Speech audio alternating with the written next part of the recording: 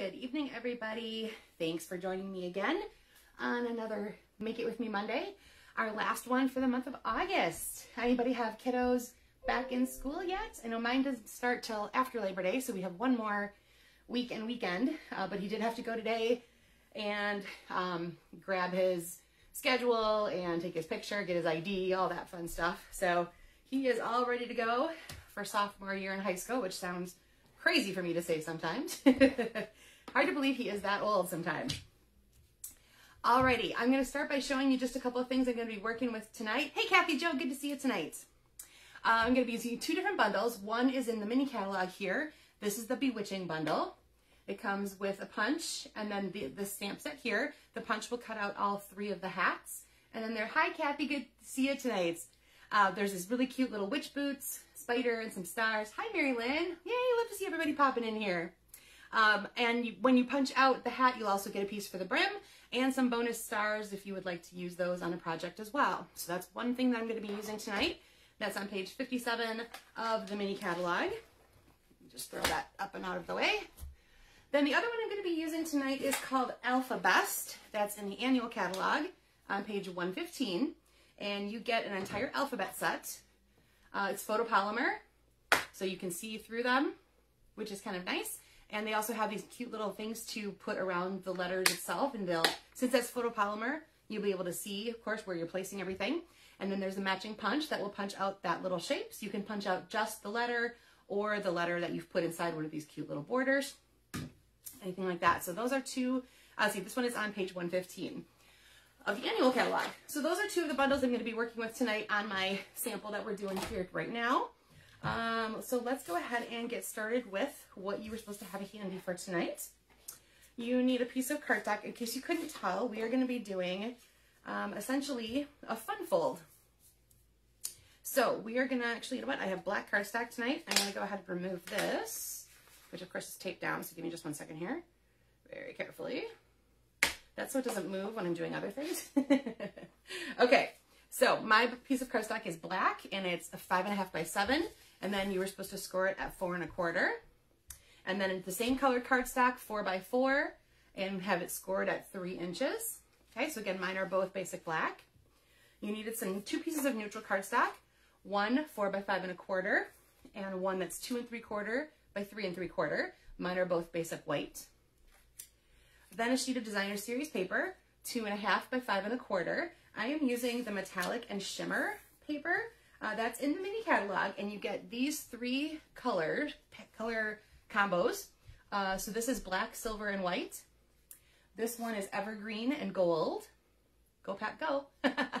and this one is Cajun and pumpkin. So you kind of got a variety of different um, looks you can use for fall colors. These are great for just general celebrations. You can think Christmas, you could think holidays of some sorts, weddings. They're just really pretty uh, flashy and they have this, the whole paper itself has a glimmer effect to it. So you can see up here where just the plain color is, that's all glimmered. And then it's all glimmer behind these really cool uh, pieces or designs, I should say, that have those extra colors in them. All right, so I'm using one sheet of that and I use the black, silver, and white version.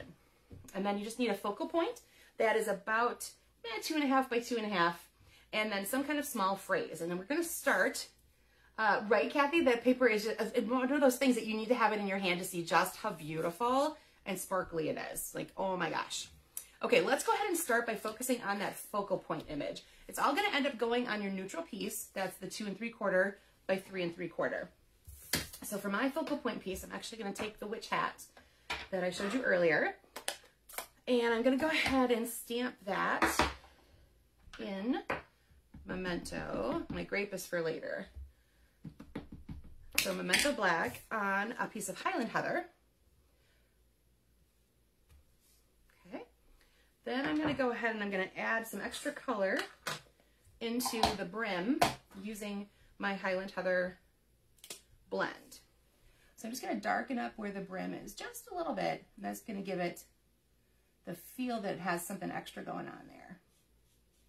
And remember with a blend, the more you go over it, the more color saturation you get and the more dimension. So you kind of see it's a little darker there, heading over into a light. And then, as always, I recommend um, stamp first, punch second. So here we go with my punch. You can see it just slides right in there. Oops, I gotta cut off a little bit of the corner of my paper because the hat sits on an angle in the punch part. So I gotta make sure my paper gets in there. Okay, I'm gonna line it up looking at myself so I can see better and then I will hold it down for you guys. All right, so while you're working on your focal points, okay, so there you go. You see I'm gonna get some little stars out of this too. Whee! okay, so there's my hat. There's one of my stars. The other was one flying. there's the piece of the brim that pops out. I'm not gonna, oh, there's my stars. They stayed inside my punch. Um, I'm not gonna use that particular piece right now, but I will probably set it aside in my stamp set so that if I'm ever doing another project later, I already have a little brim that's Highland Heather if I want it. Okay, now your focal point is going to sit kind of in the top two thirds of this panel right here. And then your phrase can be down here and you can decide if you want to have it shifted to the right, more centered, more left, whatever you decide you want to do. I'm going to spell the word boo for a spooky Halloween card. Because that's three letters long, I'm going to start with my O in the middle and then build off of that. Okay? So then there's another O and my B. Whoop. And this is why we have two sides of the paper, my friends, and why I stamp first before I attach it to anything. I'm going to need to lean over a little bit more because I didn't have my pressure all the way down. And I couldn't quite tell on that one. There we go. All right, now we're going to get a full B on that one. There we go. So now I have Boo.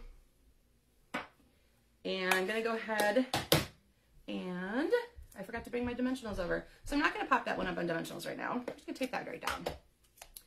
All right, so there is my focal point, and there is my phrase. So we'll set that aside for a second. And I'll probably grab my glue dots later because I want to eventually, I'm going to use these little stars to dress that up a little bit. Okay? All right, let's do some card assembly. First thing I want you to do is take that 4x4 piece that you've scored at a 3 inch length so that you have a piece that's 1 inch long. And I want you to grab your neutral piece that's 4 by 5 and a quarter. Now these pieces are going to go together like this. So we're going to put some adhesive on the inside of that panel right there so that it can open off to the side, okay? So you only want the adhesive on this one inch part here. That's going to get tucked behind the back. And you want it about centered probably, so I just kind of eyeball. It looks pretty close.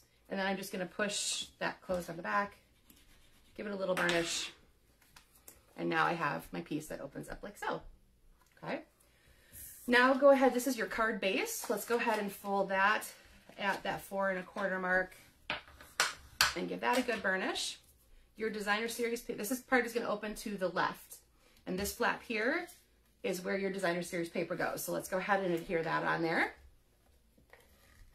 Like so. And that's gonna, like I said, that goes on the flap that will open to the left. And this part here that remains is now the normal size of the inside of a normal card, if that makes sense.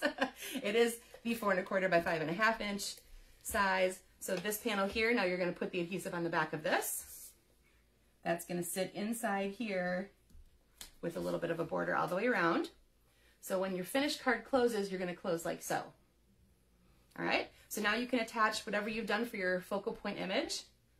That panel there is gonna pop on right there. Okay, so let me go ahead and do that. And then while you guys are finishing that up, I'm gonna grab my glue dots so that I can put my stars on there like I had planned. They're just on the other side of the desk. So just give me one second here. All right. So I thought that was kind of a fun fold. I got that um, as a swap. This is the one I got as a swap from a fellow demonstrator. Um, I like that she used this really pretty die cut. She used some um, embossing on her panel here. Thought that one was really, really cute. Um, okay, I'm gonna go ahead and do my stars and then I will show you the rest of the samples I made for you. I did kind of a variety this week. And amazingly, you guys, I didn't use Hues of Happiness. what? Kathy, beautiful, exactly right? It's beautiful. Uh, probably, what, another couple of weeks and we might feel a little more in the Halloween spirit. Today was a hot and muggy day, I heard. So I don't know if it's okay. We're going to feel too uh, hot, or I mean, it doesn't feel cool and spooky yet outside, but we can feel that way when we're inside, when we're stamping, right?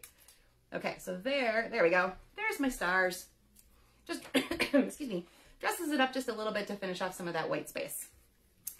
All right, and I'm gonna go, I'll take this out of the packaging. I got this from a fellow demonstrator, Linda Larson, in a swap. And I loved how she used the wreath and then some of this plaid paper as well to cut out the bow part of it. I thought that was really cute. She added some embossing to her layer and there's her inside. So this is that Gingham Cottage uh, designer series paper. It's in the mini catalog. I cannot say enough good things about the Gingham Cottage paper. Love, love, love, love, love, love, love. Okay, so my first one, extra bonus sample. Uh, this one had, the only thing I stamped was the happy anniversary. And this is from, um, let me double check the stamp set here for you. The, da, da, da. Okay, I wrote it down somewhere. Celebrating you. There we go. Celebrating you. Has a whole bunch of phrases for a variety of occasions. And then I use that it's the, or he's the man designer series paper that has those, those punch outs. And so this is a, it's an anniversary card, but with a little masculine more twist. You know, I send a lot of them that are pretty and flowery and whatever. And sometimes the couple is just, you know, they're not that kind of people. So cheers to your years. Happy anniversary. Um, and then this one is from, um, I think that's that same designer series paper. So, and I used crumb cake and espresso. I used crumb cake as my neutral in this case. And then espresso is my base layer. I will list all of the stuff on when I post the video and post the pictures. You'll get a whole list of everything I've used, including page numbers and where to find it, etc. Um, this is one of my favorite ones I did. I used the Soft Seedling stamp set, and I use a technique called thumping. I'm not sure how many of you are aware of this one. I'm going to do a video about it uh, in the next week or so. And if, for those of you that like to have it perfect or quote perfect the same every time, you're not going to like this technique because it's never going to turn out the same twice. Uh, but what I started with, I inked up the stamp in, I believe it was crushed curry. And then I took four different colors of my regular Stampin' Write markers, not the blends, the Stampin' Write markers.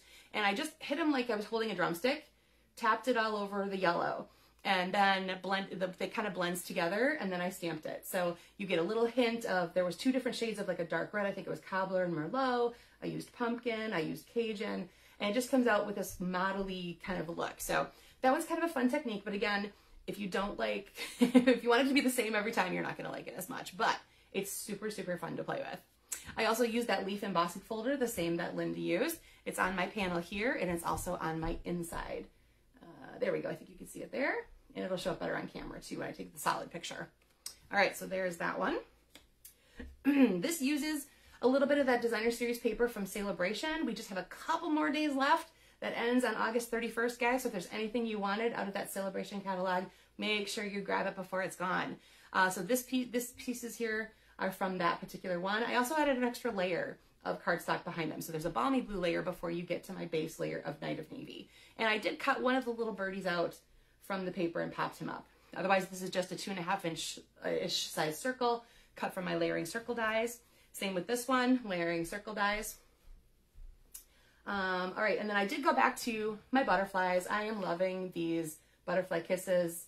Uh, all I honestly got was the designer series paper, guys. I didn't get the stamp set. I just am in love with the paper. So I keep doing some fussy cutting, uh, doing stuff like that. But I, I love, love, love this this, uh, and it comes in that six by six size, so small, cute, easy to use.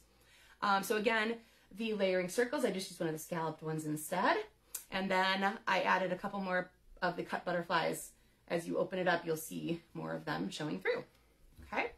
And then lastly, let me move these out of the way for a second. Here's my stepped up version of what I showed you here. Ta-da! Okay, so what I did here, you can see I have a similar concept for the hat, but instead of the brim, I added, I used washi tape and I used washi tape here. I did the letters in those little frames like I showed you and then punched them out so they do stand up off the card. Okay, this part here is popped up as well. I added more washi across here. Now this glitter washi tape is in the catalog on the same page as the Bewitching. And look at how fun and sparkly that is. You get the pumpkin, the grape, the parakeet, and the black. Oh my gosh, they're so fun to play with. I love, love, love, love, love these guys. Um, and then I added a little bit more washi uh, in here just for a little something else to be on the inside. But I kind of love the way that turned out. Um, and when I stamped her boots, I did use my blend again to color in the buckle and the socks. So it looks like that witch hat has just a couple little feet. but those were super fun to play with. Um, I love punch bundles. I know I, I love my um, my die cuts and stuff, but every once in a while to be able to just get it done with a punch quick and easy is definitely the way to go. So I love those punch bundles. Um, this little punch just by itself, the one that cut out the shapes for the things, is just totally adorable. And I am waiting to find other things that will fit in there because I just think it's adorable. Cute little size, really fun to use. Okay, everybody, I think that will do it for me for tonight. I hope to see you again. Um, I haven't decided yet if I'm going to be live or not. Next Monday is Labor Day, and I just have to figure out the family plans if we're going to be back in time. I will set something up either way so that there's a video to watch if I'm not live. So you can go ahead and stamp with me whenever you want, of course, anytime with a video. So uh, they're always on the Facebook page. I upload them to my YouTube site. Uh, so you can go back and look at any ones you've missed or if you need a refresher, anytime, they're all right here. All right, remember to share with me what you guys made. I can't wait to see what you guys did with this layout. Thanks for joining me tonight. Thanks, Kathy, Kathy, and uh, Mary Lynn. Thanks for joining me, and I hope to see you guys all next week, whether we're live or not. Take care, everyone.